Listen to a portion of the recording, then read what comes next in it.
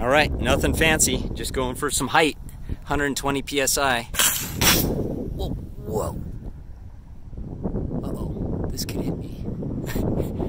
oh, boof. Oh,